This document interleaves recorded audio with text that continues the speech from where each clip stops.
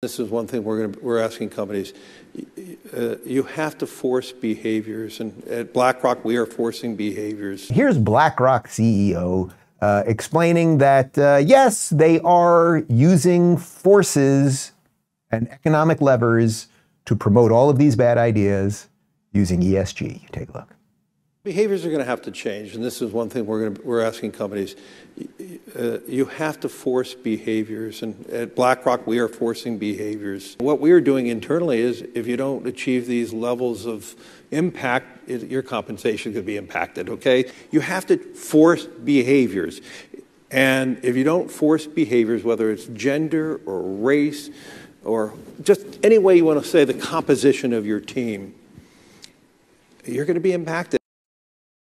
I mean, I can't even imagine anything more evil. Why do you have to force behaviors? Connor, when you take your whiteness, when you leave this place uh, and you think about your white, I'm not forcing you to do it. It would be nice if you would evaluate your whiteness and your white privilege.